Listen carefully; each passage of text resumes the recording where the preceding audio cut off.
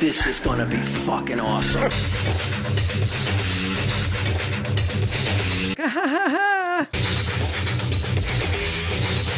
Tell him, Steve Dave. Yeah, I last night uh, was the TruTV upfronts, which an upfront is what happens is the network pre-sells the ad time. They throw a big party, huge party. They rented the Best Buy theater in in Times Square. And they invite all the companies. Like they say to the companies, if you want to buy uh, a minute on Impractical Jokers now, it'll cost you three hundred thousand dollars. If the show goes on the air and it's a hit, it's going to cost you a million and a half. So they try and sell all the advertising up front. So they hired Maroon 5. It's a fucking, the whole thing's a surreal experience because everybody there knows who you are already. They've all seen the show. They're all either like the show or don't like the show. But I had what could only be described as the closest thing in my life to a homosexual experience last night, to a gay experience. Really? Yeah. It was, They made you It was do back- stuff. It was like an S and M party. it wasn't, no, but Maroon 5. It was like that fucking eyes wide shut. Quit walking around with a mask on. yeah, it is funny because everybody there is wearing like three thousand dollar Armani suits. Like it's fucked up. Like at, it's like to the nines. And I showed up in a in a t shirt with a soccer ball on it and uh, an Adidas tracksuit top, jeans, and, and and my sneakers, my Adidas sneakers. Did you You're, need an you're a ID? real man. I mean, you're like a, kept you it keep real. yeah, you know, you're an everyday man. Yeah, people. Some somebody Working class. Yeah, You're so- like the boss. they love it. They they they're real happy with it. but um, but Maroon Five played it. They hired Maroon Five to play. Um, which is That's got to cost a lot. Are they popular? Oh, Maroon five? oh my god, they're What like kind of music was that? one of them. um pop music, like uh sensitive. I'll Who find would you something. liken it to? Um, What other bands that like you've probably never heard of? yeah, or like a listened to? Coldplay type music. all yeah, right, although. Coldplay sucks. I'm not gonna say Maroon Five sucks because of my experience with the drummer of Maroon Five. Matt Flynn is a drummer. Okay, so what happened? So what happened was is they hire Maroon Five to play the the show, and to play the TruTV up upfronts, and it's uh Stacy, my friend Stacy, who's been here several Mm-hmm. times, uh, loves Maroon Five. She's like, "Thing." So I said, "Well, you can come, come with me." I got told by TruTV, "We can't bring someone." Because you, you guys are the only talent coming to this thing and other shows are already pissed off about that. And then if you bring someone, they'll get pissed off about that. So, so I didn't, so I didn't bring her, which turned out to be complete bullshit because from the second I got there, I was, we, we were treated like rock stars. I could have done it, anything. There was no waiting on lines. There was no nothing. People were just, I want to I fuck the work- drummer of Maroon Five right now. bring me his ass. I need a story for tomorrow on my podcast. so so he's so his name's Matt Flynn. He's the drummer for Maroon Five. Fucking forty year old guy, nice guy, married, great mm-hmm. guy. I'm standing there and I, I was drinking a little bit, and he's standing over. there. I didn't know he was the drummer. But There's I'm- actual rock stars there. Yeah. And Quinn's getting treated like more of a rock star. Yeah, it's weird. So he's great. Let me tell you why he's great. He is my Mark Consuelos. That's Oh, yeah? the- that's it. That's the best way to put it. He's standing over, and I see him.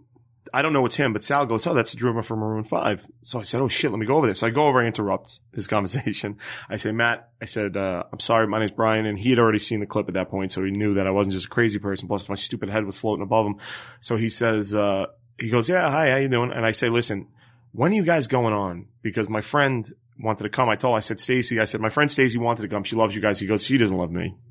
I go, no, I I'm the said, drummer. yeah, that's what he said. He goes, I'm the drummer. He was so humble, dude. He got it. Like he knew you'd like him. He, he was like the guy. He's like, I know I'm the drummer from Maroon 5. I got it. You know what I mean? And, and he goes, uh, nah, we're going on like 20 minutes. You won't make it from Staten Island. And I go, I go, shit. I go, I, and I told him the story because we started talking. He goes, you know what? He goes, um, we're playing Jones Beach. He goes, you got you and Stacy coming as my guest.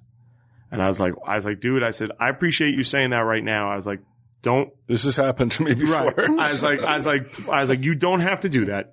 Please don't say that. Walt Flanagan once told me he was getting me passes into San Diego Comic Con.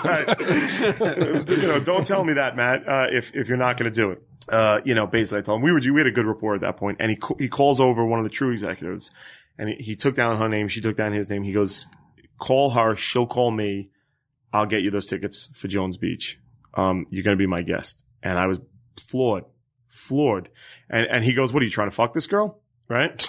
And I go, well, yeah, but I said I'm not gonna. angrily, or- no, no, no. But like, you know, he's he's a real decent, nice guy. Like, there's nothing Oh, this guy that was did. his way to find out if you were straight. Yeah, he just wanted to know. No, no, no, no, no, no, no. He's not. That's not. Oh, okay. He goes. He he wanted to know why, and I said no. I go. She's just a really good friend. I go. Uh, she she helped me like through some hard It's times. like, because in life. Stacy can be a boy's name too.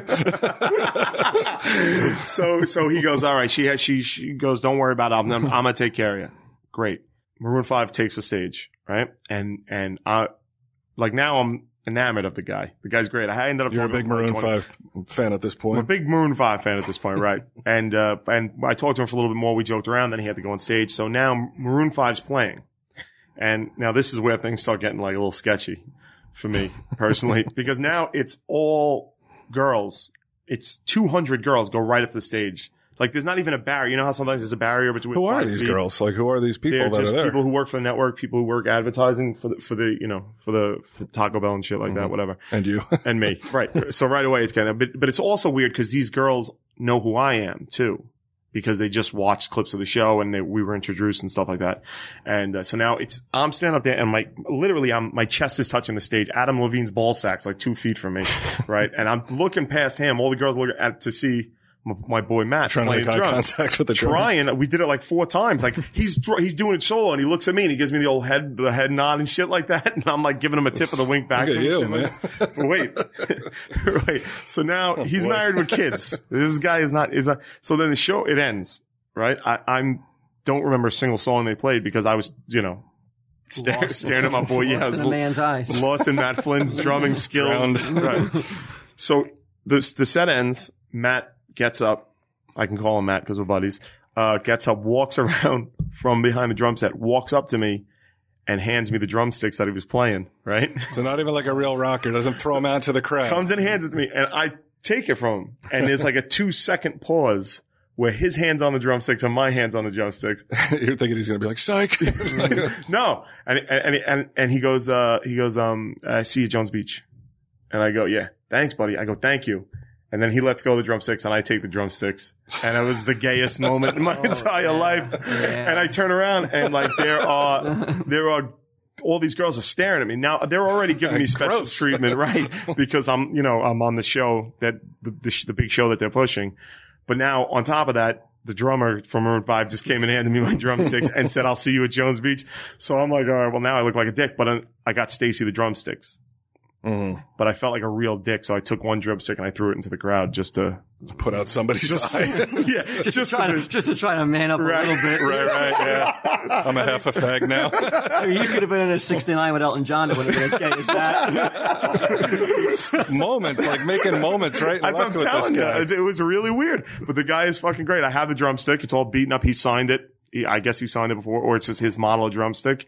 And uh, I called Ka- Stacy, and she's excited to go to Jones Beach. And uh, and uh, he's he's please follow him on Twitter.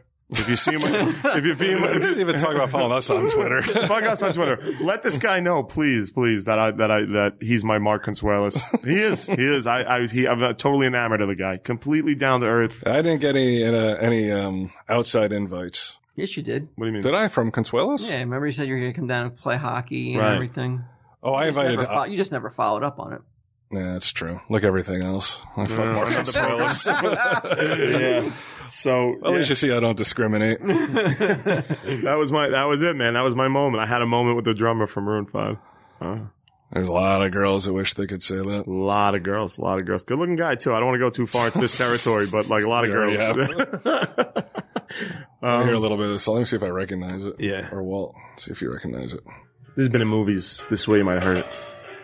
I don't know. Yeah, They yeah. haven't mentioned Satan once. I'm not into it. yeah. They're not your type music at all, but they are a great, great band Yeah. with excellent songs and a hell of a drum player. Oh, there you go, Quinn. Yeah.